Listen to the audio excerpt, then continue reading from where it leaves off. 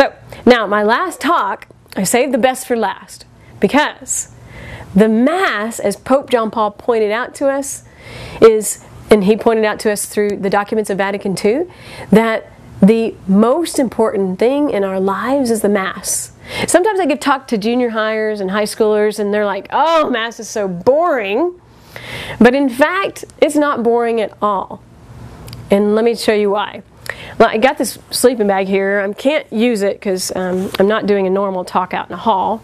But normally, I would take the sleeping bag and um, I would then have a young girl um, get on it, and then we would have a flux capacitor. Remember what flux capacitor means? It's from Back to the Future. So, do you, Sharpay, want to go on the flux capacitor? Sure. Okay, then all you have to do is go to Mass. Okay, so let's pretend like she's going to Mass. She genuflex. Remember when you genuflex, get on that knee. Okay, not the splits. Oh, sorry. Uh, so, so she genuflex and then she goes to Mass. And without realizing it, you and I, just like Sharpay, we are actually being taken back in time and space. Where? Woo! Let's pretend like this is the foot of the cross. That's what happens at every Mass. You and I get to go to Calvary. What happened on Calvary was Jesus shed his flesh and blood for you and for me so that our sins can be forgiven, so that we can live out the proper language of the body. Not only do we get to go back in space and time to the foot across to Jerusalem where Jesus died for us, but we are propelled at Mass to where? To the future to that eternal banquet. I mean, think about how heaven is described like a banquet, like um, getting to eat and have fun with friends and family. So at every Mass, we get to go there too. All the angels and saints join us in worshiping the Father through Jesus' gift of self on the cross and the power of the Holy Spirit. It's a Trinitarian act. So remember that whenever you um, think about the fact that Mass is boring, just remember, oh, let me remember what's going on. Calvary and the beatific vision right there in time and space. It's like, as Thomas Howard says, the, the veil is being pull, pulled back, and we get to experience that. Thanks, Sharpay. Sure. All right, G.I. Joe, will you also help? Yeah, I'd be glad to help. Okay, hold on just a second. I mean, hold on just a second. I mean, okay.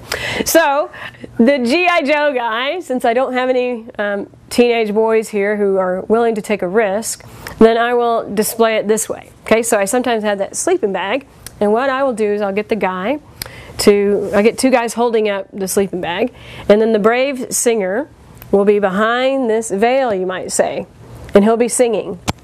G.I. Joe, what do you want to sing? How about Jingle bells. Okay, it's not Christmas. Well, that's all I know. Okay, so jingle bells it is. So, um, you might think about Mass sort of like this, okay? Jingle bells, jingle bells, jingle all the way. Oh, what fun it is to ride in a one. What do I mean by this? I mean that just like his singing always was ongoing. It never stopped. It just kind of got quieter. And the quieter means that you might say it's when we're not at Mass. But when we're at Mass, the veil gets torn back, and then we get to know that the sacrifice on Calvary worked. I hate equating G.I. Joe and Jingle Bells with the sacrifice on Calvary, but it's an analogy, okay? So take it for what it's worth. And so that veil gets uh, brought back in space. Um, that, that veil gets brought down, and then we get to participate in that very act. And one of the things we do that I think, um, if we all knew this, it would totally transform our way of viewing the Mass. And since the Mass is so big, and the most important thing um, that we can do in our lives, then we're going to have to step outside to my front lawn and then we will, uh, I want to show you this pretty um, powerful and meaningful exercise, this demonstration about what I would hope that you would do with regard to the Mass. So wait one moment and uh, we'll be moving outside and um, I'll demonstrate this to you. So I told you that the Mass is so great, I need to be outside to have a bigger space. So let me finish my talk by letting you know that the Mass is the most powerful thing in your life. Why? Because we encounter Jesus Christ. And I want to share one thing what I do with you, and I hope that you can translate it to things that are happening in your life. So, one of the things that um, I do is I imagine myself going to Mass and then carrying my burdens.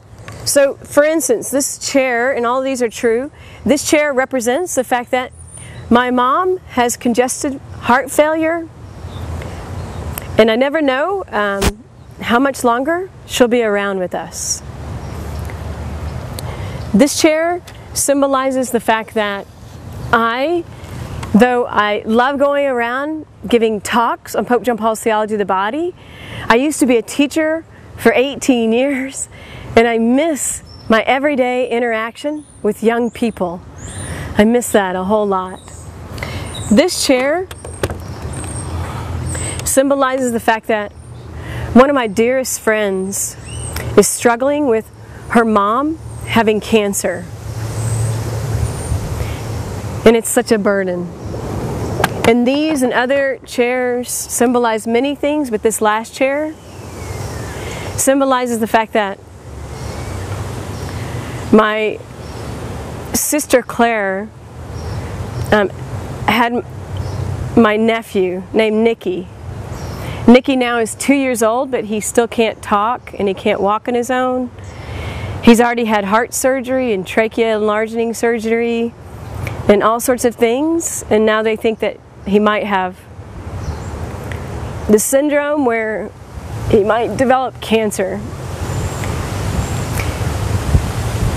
And so, what I do is I take all my burdens, and I know that if I go to Mass, all I have to do is I have to lay my burdens down.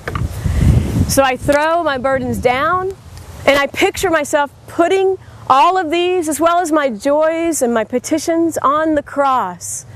On, um, and the cross is the same thing as the altar. So I put all these things on the altar. And I say, Jesus, I can't handle these anymore, but I know you can.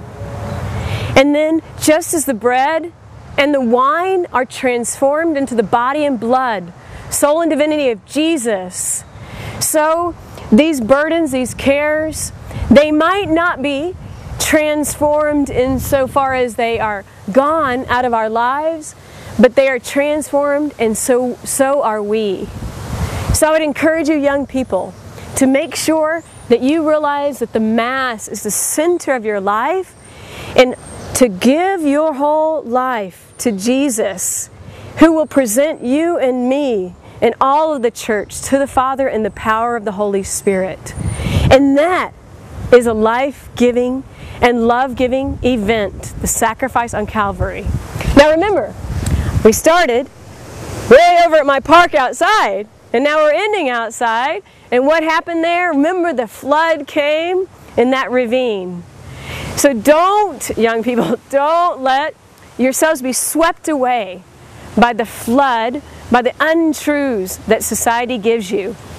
Instead, be holy and happy and free by living out the language of your body.